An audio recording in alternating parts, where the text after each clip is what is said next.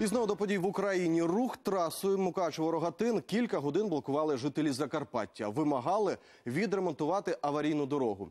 Річ у тім, що на це і гроші є, і тендер провели. Але суд заборонив автодору укладати угоду з переможцем конкурсу. Чому виникла така ситуація? Дізнавалась Мар'яна Мартин. Транспортний колапс. Закарпатці перекрили трасу Мукачево-Рогатин. Зібралися у селі Дунковиця. Крокують пішохідним переходом.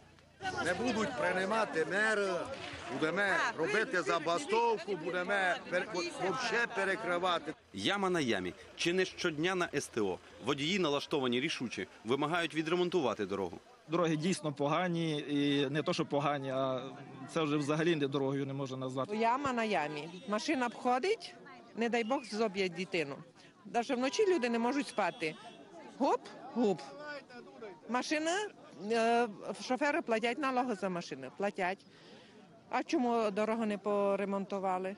Тим часом Кабінет міністрів на будівництво автошляхів області виділив більш ніж 1 мільярд гривень. Окремо отримали кошти і на трасу Н-09. Це як і на дороги державного значення, так і місцеві дороги. Окремо було виділено 262 мільйони гривень на дорогу Н-09, яка гостро потребує ремонту. І уряд пішов на зустріч мешканцям області. Та справа не в грошах, кажуть в автомобільній службі доріг Закарпаття. Провели днями тендер, однак невдоволений підприємець, програвши процедуру, подав до суду. Тож роботи з відновлення траси призупинені. З розгляду дорожнього питання розпочали депутати із сесією обласної ради. Доручили виконавчому апарату підготувати відкритого листа до Кабміну та інших інстанцій. У зверненні буде звучати те, щоб адміністративний суд максимально швидко розглянув питання, забезпечивши законність і прозорість е, даного терміну, тобто не затягуючи його в часі. Та ось чи вдасться питання вирішити без зволікань, покаже час. Протестувальники ж дорогу для проїзду відкрили. Однак подібні акції, кажуть, проводитимуть кожні 10 днів, поки не розпочнеться ремонт.